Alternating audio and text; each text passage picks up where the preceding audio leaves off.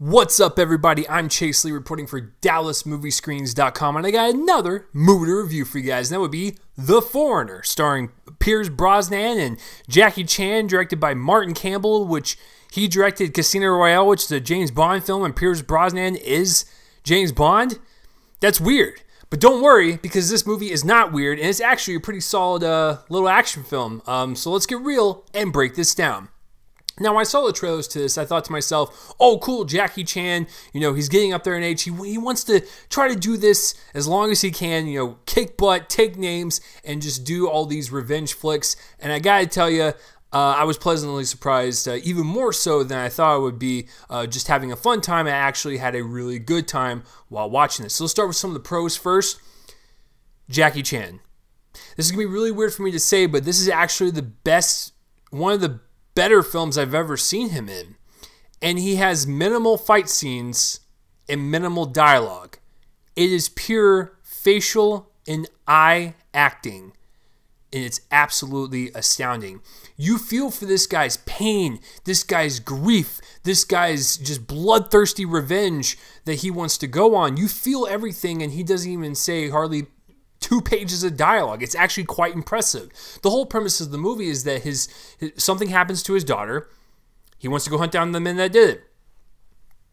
That's pretty much it. And so you figure like, oh, it's just a very basic character. He has like this bloodlust that he wants to go get quenched or whatever. No, he actually has a he has a directive. He is precise. Uh, he is definitely uh, um, persistent for sure. And I, I don't know. I just felt like I I knew everything about the character without him saying a word, and that really speaks volumes to Jackie Chan as a silent actor. He's really good uh, in this role, and so I really appreciated him being the main uh, lead in this. Uh, Pierce Brosnan plays the villain, and he is intimidating in some spots. Uh, he can be very threatening, and he does have that clout that you would want in a villain. Uh, I do have a negative, and it's my only negative of the film, but I'll get to it. Uh, and so, getting the performances out of the way, going to the story, I really like the fact that it was relevant. Kind of uh, uses terrorism for political gain and motives and whatnot, uh, kind of reflecting what's going on today in this kind of sad, sad world. And uh, I really kind of like the parallel of that because this is you know scary stuff that does happen um, every day. And you know when a movie like this comes out, it when you see that, I don't think of it as exploitive. I just think of it as more grounded and more terrifying and realistic, uh, and just adds, you know, just like I said, the extra grounded reality that you want in this type of film. Um, so it's not just all like cheesy uh, action one-liners and whatnot. No, it's actually got some emotional weight to it, uh, and that has to do with Jackie Chan and what happens with his daughter, and of course the political relevance that's happening within this film. That's also happening around the world. I thought the action scenes were shot very well. The direction by Martin Campbell is a uh, it's just a solid action film. Uh, the hand to hand combat uh, with Jackie Chan and uh, the people that he does fight, um, it's very, very minimal, like I said, but. Uh, you can feel the bone crunches. You can feel the the throws that Jackie Chan uh, does with these people. Um, he still got it. Even after all these years, he can still put on a show and really be commanding on screen, uh, whether it be with his acting, um, um, you know, verbally, non-verbally, and then of course with um, with his fist.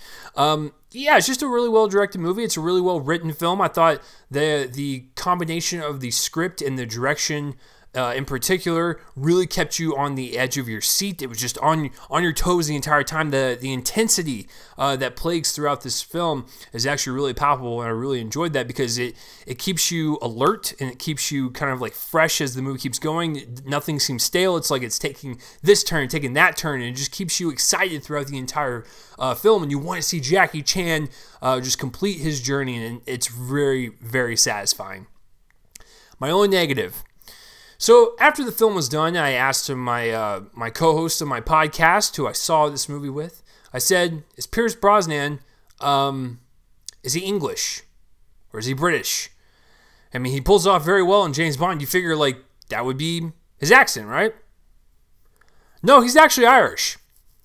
He plays an Irish guy in this movie, and his accent is atrocious. Um, I didn't I didn't like his accent at all, and that's his native tongue. I don't know what to say. I, I think my co-host put it uh, properly and was he basically just said that he was kind of overdoing the Irish accent, which that's what it seemed like. It seemed like he was trying to put on an accent that wasn't his, even though it is his. So it's just weird all around. So his accent was the only thing that bothered me.